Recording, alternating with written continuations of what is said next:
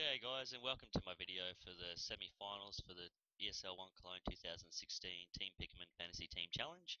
Um, yesterday we did okay, we had 3 out of 4 correct. Um, Liquid beat Na'Vi. Um, I didn't see that one coming, I thought Na'Vi would definitely win over Liquid, but Liquid played out of their minds and um, really took it to Na'Vi, um, especially on train. I ended up watching half of the train match before I had to go to sleep, it was like 2am, so um, I, I didn't get to see the whole the whole other two games, but um, from what I can see, uh, looking at the stats and you know the kills per player and whatnot, um, yeah, Liquid had it over Na'Vi, or that looked like Na'Vi just choked straight out.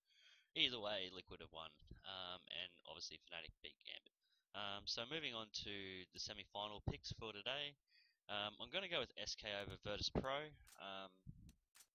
It's a pretty safe bet, I'm I'm sure. Um, Virtus Pro struggled against Astralis with the the two stand-ins, um, and I think SK is just at you know at the peak of their game. I mean, Flipside did take it to them yesterday, but Flipside also um, are just just playing out of their minds. They're just on fire at the moment. So.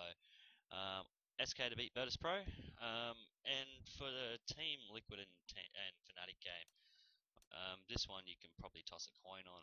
Um, either team can get through to the finals here. The way that uh, Liquid's playing, it's it's quite possible they can beat Fnatic, and Fnatic with their track record, you know, you just can't deny the fact that you know they went in with a chance over a, a North American team.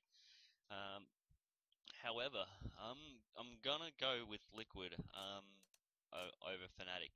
Um, obviously, Liquid beat Fnatic at uh, MLG earlier this year in the best of three. Um, they're playing with a similar lineup. Uh, obviously, JDM is a better AWPer than Kusta, and he's playing pretty well at the moment. And um, yeah, I just think um, Liquid have the goods to beat Fnatic at the moment.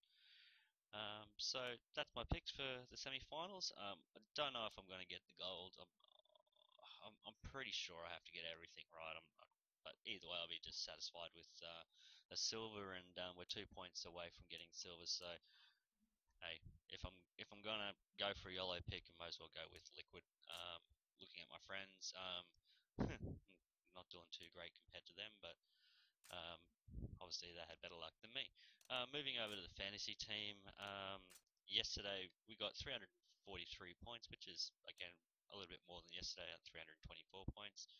Um, if I picked anyone like Taco or FNX instead of fer, I probably would have got a hell of a lot more points. Um, Fallen didn't. His KD probably pulled his points back a bit. Device was the uh, MVP of the team with 111 points, but obviously he's eliminated and so is Seized. So today I'm gonna go with my my same strat and stack mostly one team. Um, I'm not going to stack, uh, what do we call it, SK Gaming. I'm going to go with um, more of a liquid stack this this one round um, because I honestly think that you know the liquid and um, Fnatic game could go to three rounds. I think there could also be an overtime in there.